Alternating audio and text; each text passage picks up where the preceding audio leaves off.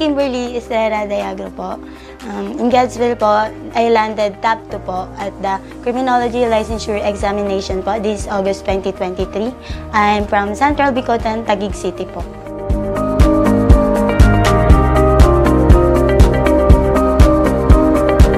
Dati po nung high school po ako, tsaka elementary, talagang achiever po talaga ako.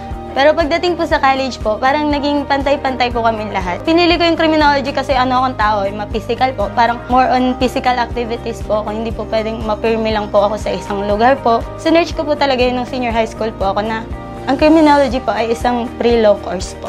Kaya tinake ko po ang criminology. Na-delay po ako ng two seasons po ng licensure examination.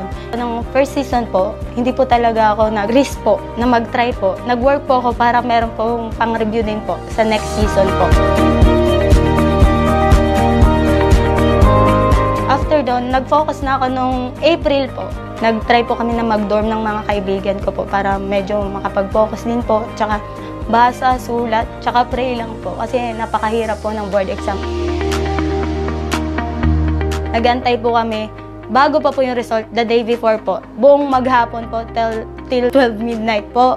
Tapos wala pong lumabas na result. Talagang pinagpuyatan po namin. Nagantay po talaga kami. Tapos kinabukasan po, nag-Facebook po ako. Sa Facebook ko po talaga nalaman kasi yung classmate ko po, tinag po ako na sabi niya, grabe ka talaga, nag-top 2 ka ba? Tapos ganun.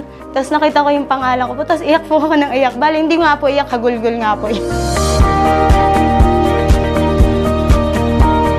Laking pasalamat ko po talaga sa family ko kasi po sila po talaga yung naging inspirasyon ko kung bakit nag-strive hard po talaga ako kasi sa totoo lang po, nag-work po ako uh, para ma-supportan yung review ko po.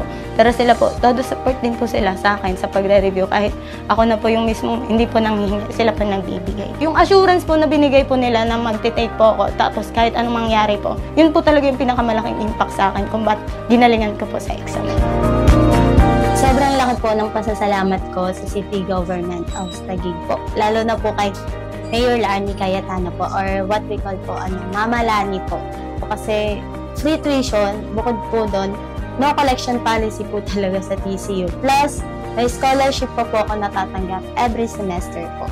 Idagdag ko na rin po ang nakukuha ko pong incentives nung nag-board exam po ako. Na mayroon po kaming educational assistance po. Tsaka napakaswerte ko po na isa po akong TCUnista at nabigyan po ako ng oportunidad na makapag-aral sa TCU po. Para kay Kim, isa po siyang masunuring bata at pinahalagahan niya lahat ng bagay na pinaghirapan ng ganyang magulang. Kaya narating niya ang ganyang pangarap sa buhay. Kung nagtakasalin siya sa top notcher, sobrang saya po at sinabi ko po sa sarili na talagang doon niya na makikita ang kanyang pinagpaguran at talagang nagsumika siya sa pag-aaral niya. Pamilya namin, sobrang hitos kami sa buhay. Sana po, pag halimbawa, nandiyan na siya pangarap niya, nabot niya na yung pangarap niya, tulungan din naman niya yung mga kapatid niyang nag-uumpisa pa lang. Yung mga advice ko po sa mga future generations po na magte-take po ng board exam or magkakaroon man po ng mga future examinations sa buhay po nila is strive hard po. Pag sumikapan nyo po na ma makuha yung mga goals nyo kasi ko po, po kung hindi nyo po itatry, wala pong mangyayari. Wala pong imposible kasi po ako po hindi ko naman po pinangarap maging top notcher pero binigay po ni Lord po yun. Kaya kaya nyo rin po yun.